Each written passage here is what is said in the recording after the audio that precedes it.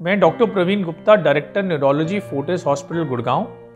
आपको brain tumour के बारे में कुछ जानकारी देना चाहता हूँ। ब्रेन ट्यूमर एक बहुत ही खतरनाक और भयानक बीमारी है। और जब एडवांस स्टेज में यह डायग्नोज होती है तो कभी कभी इसका ठीक से इलाज भी नहीं हो पाता। तो हमारी कोशिश ये रहनी चाहिए कि हम ब्रेन ट्यूमर को शुरू के क्षणों में ही अर्ली स्टेज में ही पकड़ लें।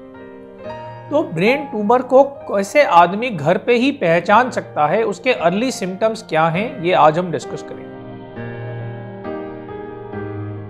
ब्रेन ट्यूमर का पहला सिम्टम है बढ़ता हुआ हेडेक ये सरदर्द जनरली एक ही जगह पर होता है ब्रेन में और लगातार बना रहता है। कभी कभी बीच में भी आ सकता है और कभी कभी माइग्रेन जैसा भी लग सकता है। पर ब्रेन ट्यूमर का सरदर्द अधिकतर रात को बढ़ जाता है और सुबह अर्ली मॉर्निंग बहुत ज़्यादा होता है, क्योंकि ब्रेन का प्रेशर रात में बढ़ता है और सुबह अपनी पीक पे होता है। और दिन में यह सरदर्द ज़्यादा बेटर होता है। अन्य सरदर्द जनरली काम करते हुए दिन में तनाव के वक्त ज़्यादा बढ़ते हैं और रात को सोते हुए उतना तंग नहीं करते। तो यह ब्रेन ट्यूमर के सरदर्द की खास अवस्था है। ब्रेन ट्यूमर का दूसरा सिम्टम है दौरे।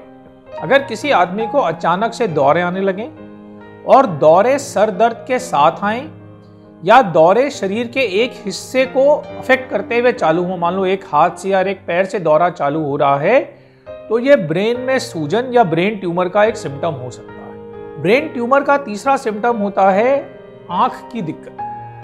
दो दिखाई देना या धीरे धीरे आँख की नज़र कम होना, ये भी ब्रेन ट्यूमर का सिम्टम हो सकता है, क्योंकि ब्रेन का ट्यूमर ब्रेन में प्रेशर बढ़ाता है वो प्रेशर बढ़ने से आँखों की नसों पर असर पड़ता है, जिससे या तो डबल दिखने लगता है या धीरे धीरे रोशनी कम होने लगती है। ब्रेन ट्यूमर का चौथा सिम्टम है शरीर के एक भाग में कमज़ोरी आना, जैसे कि हाथ काम करना बंद कर दे, पैर चलना बंद हो जाए, पेशाब पे कंट्रोल बंद हो जाए, आवाज़ तुतलाने लगे, इसका मतलब कोई चीज़ ब्रेन को अफेक्ट कर और ब्रेन ट्यूमर का पांचवा सिम्टम हो सकता है सर में भारीपन या चक्कर।